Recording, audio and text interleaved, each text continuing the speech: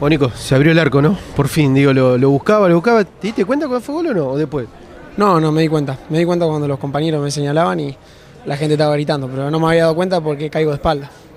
Necesitaba, digo, en lo personal, más allá de la victoria del equipo, en lo personal, eh, que se te abra el arco vos, ¿no? Que lo venías intentando y no se daba, ¿no?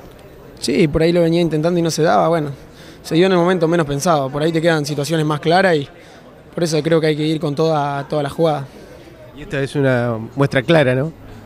Sí, esto cuando menos te lo esperaba está la jugada del gol, así que con convicción hoy la fui a buscar y bueno, se me dio. Sí, creo que el segundo tiempo hubo un tiempo que nos costó, no mucho, pero, pero sí, eh, podríamos haberlo controlado de otra manera el partido. En el primer tiempo creo que después del gol tuvimos varias jugadas como para hacer el segundo. Eh, no, las, no las pudimos finalizar, pero, pero bueno, lo importante es que se ganó.